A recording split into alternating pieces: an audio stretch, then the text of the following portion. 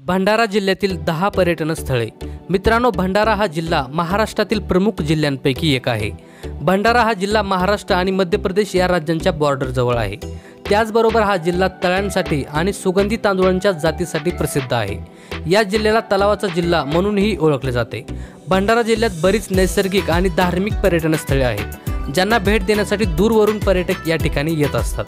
नमस्कार मित्रांनो स्वागत आहे आपले आणखी एका मनोरंजक आणि इन्फॉर्मेटिव्ह व्हिडिओमध्ये आज आपण या व्हिडिओमधून भंडारा जिल्ह्यातील दहा पर्यटन स्थळांबद्दल जाणून घेणार आहोत. चला तर मग व्हिडिओला सुरुवात करूया. नंबर दहा गायमुख देवस्थान. गायमुख देवस्थान हे भंडारा जिल्ह्यातील प्रमुख ठिकाणांपैकी एक आहे. हे देवस्थान भंडारा जिल्ह्यातील तुमसर या तालुक्याच्या ठिकाणी आहे. या ठिकाणी महादेवाचे प्रसिद्ध असे प्राचीन मंदिर आहे. डोंगरखळीतून वाहून येणारे पाणी हे गायीच्या मुखातून सतत वाहत असते.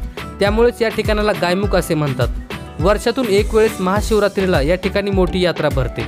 गायमुख हे देवस्थान भंडारापासून चोपन्न किलोमीटर एवढ्या अंतरावर आहे. नंबर नऊ चोंडेश्वरी देवी मंदिर.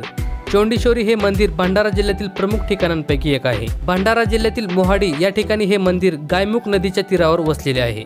या देवीच्या दर्शनासाठी दूरवरून भाविक भक्त या ठिकाणी मोठ्या संख्येने येत असतात.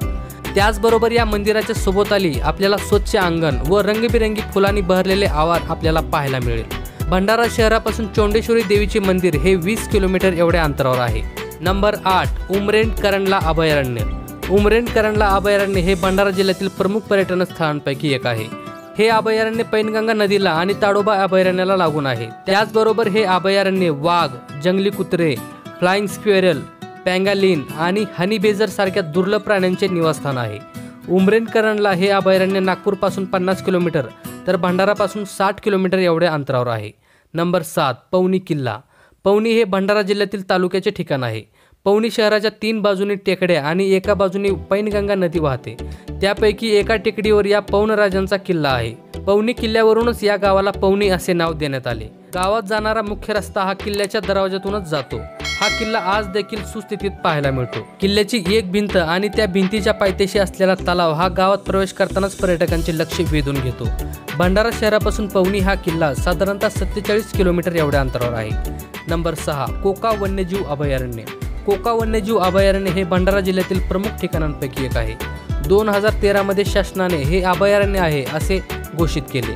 कोका वन्यजीव अभयारण्य हे सुमारे दहा हजार तेरा हेक्टर एवढ्या क्षेत्रावर पसरलेले आहे. ब्रिटिश काळात हे अभयारण्य ओल्ड रिझर्व्ह फॉरेस्ट या नावाने ओळखले जाते या अभयारण्यामध्ये वाघ बिबट्या गवा अस्वल काळवीट नीलगाय सांबर रानकुत्रे चितळ रानडुक्कर हे प्राणी आढळतात. भंडारा शहरापासून कोका वन्यजीव अभयारण्य हे साधारणतः पंचवीस किलोमीटर एवढ्या अंतरावर आहे. नंबर पाच रावणवाडी धरण. रावणवाडी हे धरण भंडारा जिल्ह्यातील प्रमुख पर्यटन स्थळांपैकी एक आहे. रावणवाडी हे धरण एकोणीसशे साठमध्ये बांधण्यात आले. या धरणाची लांबी शहाण्णव मीटर तर उंची बारा पॉईंट चव्वेचाळीस मीटर इतकी आहे. या धरणाची पाणी साठवण्याची एकूण क्षमता ही सहा पॉईंट नऊ दशलक्ष घनमीटर इतकी आहे. रावणवाडी जलाशय हे अगदी कमी कालावधीमध्ये लोकप्रिय झालेले पर्यटन स्थळ आहे. वन विभागाकडून या पर्यटन स्थळाचा इको टुरिझममध्ये समावेश करण्यात आलेला आहे. या धरणाचा विस्तीर्ण असा पाणीसाठा आपल्या डोळ्याचे पारणे फेडतो. तलावाच्या दोन्ही बाजूने निसर्गाने भरलेले डोंगर आपल्याला पाहायला मिळतील. रावणवाडी हे धरण भंडारा शहरापासून वीस किलोमीटर एवढ्या अंतरावर आहे. नंबर चार गोसेखुर्द धरण. गोसेखुर्द हे धरण महाराष्ट्रातील नागपूर आणि भंडारा या दोन जिल्ह्याच्या सीमेवर वसलेले आहे. भंडारा जिल्ह्यामध्ये हे धरण पवनी यश गावाशेजारी आहे. गोसेखुर्द हे धरण नदीवर आहे. या धरणाची उंची बावीस पॉईंट पाच मीटर तर लांबी अकराशे पस्तीस मीटर इतकी आहे. गोसेखुर्द धरणाचा विस्तीर्ण असा पाणीसाठा पाहण्यासाठी दूरवरून पर्यटक या ठिकाणी येत असतात. भंडारा शहरापासून गोसेखुर्द हे धरण एक्केचाळीस किलोमीटर एवढ्या अंतरावर आहे. नंबर तीन कोरंबी मंदिर. कोरंबी मंदिर हे भंडारा जिल्ह्यातील प्रमुख ठिकाणांपैकी एक आहे. कोरंबी हे भंडाऱ्यातील एक छोटेसे गाव आहे. हे गाव पैनगंगा या नदीच्या तीरावर वसलेले आहे. कोरंबी या टेकडीवर हे कोरंबिका मातीचे प्रसिद्ध असे मंदिर आहे. नवरात्री उत्सवामध्ये या ठिकाणी अनेक भाविक भक्त मोठ्या संख्येने येत असतात. हेमाडपंथी शैलीचे हे कोरंबी देवीचे मंदिर साधारणतः आठशे वर्षापूर्वी बांधलेले आहे. या मंदिराच्या गाभाऱ्यात साडेतीन फूट उंचीची देवीची मूर्ती आहे. नवसाला पावणारी देवी म्हणून ही देवी प्रसिद्ध आहे. भंडारा शहरापासून कोरंबी देवीचे मंदिर हे सहा किलोमीटर एवढ्या अंतरावर आहे. नंबर दोन सिंदपुरी बौद्ध विहार. सिंधपुरी बौद्ध विहार हे भंडारा जिल्ह्यातील प्रमुख ठिकाणांपैकी एक आहे. निसर्गाच्या सानिध्यात वसलेला हा विहार अनेकांचे लक्ष वेधून घेतो. बुद्धाच्या अनेक मुद्रा या ठिकाणी आपल्याला पाहायला मिळतात. त्याचबरोबर बुद्धाच्या उंच उंच मूर्त्या या ठिकाणी आपल्याला पाहायला मिळतात.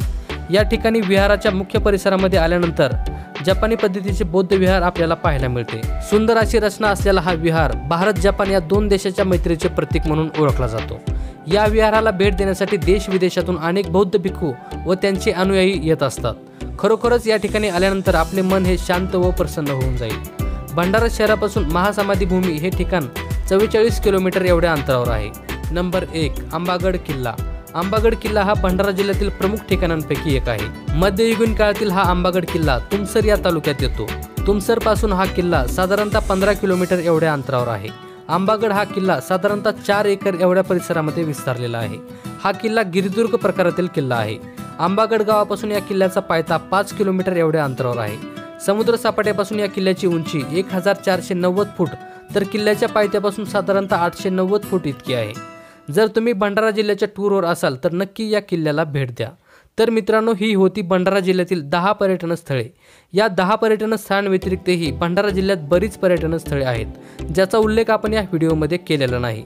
तुम्ही भंडारा जिल्ह्यातील कोणकोणत्या पर्यटन स्थळांना भेट दिली आहे किंवा देणार आहात ते आम्हाला कमेंट करून नक्की कळवा.